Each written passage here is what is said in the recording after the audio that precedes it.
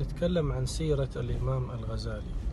سيرة الإمام الغزالي يختلط فيها العلمي بالسياسي بالديني بالفلسفي بالذاتي أيضا. وكل هذه الرحلة في 55 سنة.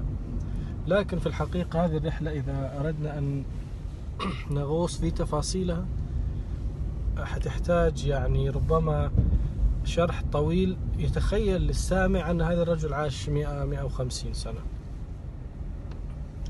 آه لذلك كانت لدى الإمام تقلبات مختلفة لذلك كانت لدى الإمام آراء مختلفة بل أحيانا متناقض. بعضهم تجاوز ذلك من وصف الإمام بالتناقض إلى القول أن يعني إلى الاتهام السلبي للإمام أنه كان يعني يظهر شيئا ويبطن شيئا آخر. كان ما يظهر للناس شيء وما يبطنه شيء آخر. الله أعلم بحقيقة الأمر لكن نحن ندرس الأمور لكن نحن ندرس الأمور كما تظهر لنا أو كما يخيل إلينا أننا ندركها.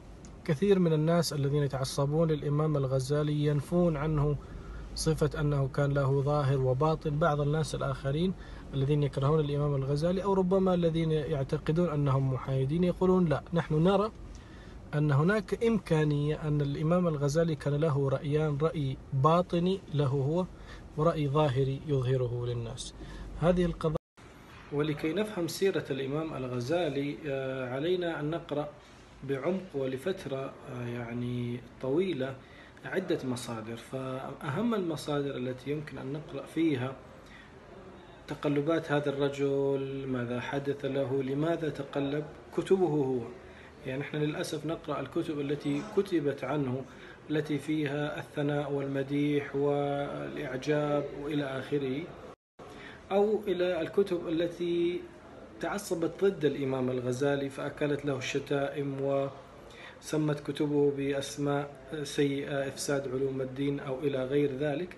لكن كتب الإمام موجودة ويمكننا إذا أخذنا وقتا وعمقا في قراءة هذه الكتب أن نستخلص يعني ما هو سر كل هذه التغيرات والتحولات؟ ما هو سر كل هذه التغيرات والتحولات؟ هل هي فعلا خاضعة لأي تفسير ديني تفسير علمي تفسير منطقي. ما هو السر وراء كل هذه التحولات؟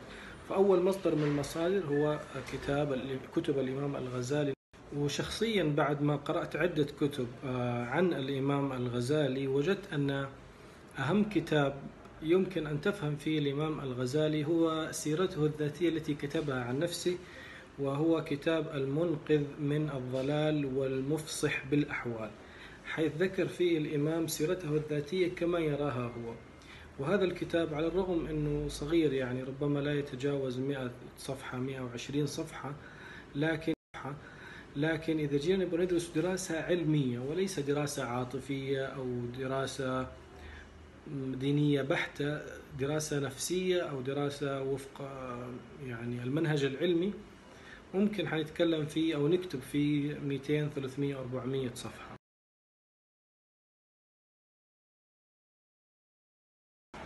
وبعض المتعصبين للإمام الغزالي يعني حب ينقز إلى النتيجة مباشرة فيقول لك أنه مثلا التصوف هو غاية ما يصل إليه العقل البشري وهو الطريق النهائي والأوحد للسعادة الذاتية والسعادة الأبدية. وأعتقد تناولنا لسيرة الإمام الغزالي. من هذا المنطلق يعني تناول غير كامل وتناول منقوص. فأنت لما تقرأ للإمام الغزالي لا تحاول تكون صوفي أو لما تقرأ للروحانيين لا تحاول تكون روحاني. أنت كن نفسك وحاول تستفيد من الجميع سواء من الصوفية أو من الروحانيين أو من غيرهم. لو تلاحظ أنه كثير من هؤلاء الروحانيين والصوفية وكثير من اللي يتكلموا في الجوانب الروحية they are touching the same roots. هم يتناقشوا ويبحثوا في ذات المسائل المهم أنت لما تقرأ في هذه المواضيع أنك تغوص بنفسك وتبحث تحاول تجعلها رحلة بحث ذاتية عن الحقيقة وعن الصواب كما فعل الإمام الغزالي. لا تنتظر نتيجة معلبة أو جاهزة يقدمها لك أحد عن ما هو الصواب أو ما هو الخطأ أو أين تجد السعادة آه، أو ما هو الشيء الصح وما هو الخطأ.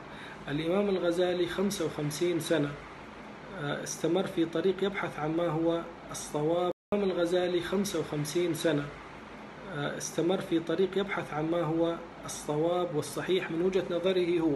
وهذه نقطة في غاية الأهمية أنه ليس هناك صواب أستطيع أن أقدمه لك أنا على طبق من ذهب بل يجب عليك أن تبذل أنت جهدا ذاتيا في استكشاف ما هو الشيء الصحيح وما هو الشيء الذي ترتاح إليه نفسك.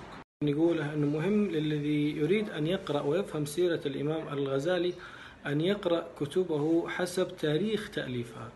فالإمام الغزالي كتب كتبه في فترات طويلة آه، ويعني هو كتب تقريبا 55 كتاب فالبعض يقول يعني أنه هو في كل سنة من سنوات عمره كتب كتاب حتى من يوم أن كان طفلا.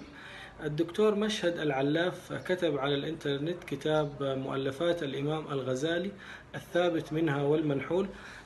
هذا الكتاب سوى عملين مرة مهمين. العمل الأول هو أنه ذكر كتب الإمام الغزالي الثابتة بالنسبة إليه والكتب الأخرى المنحولة.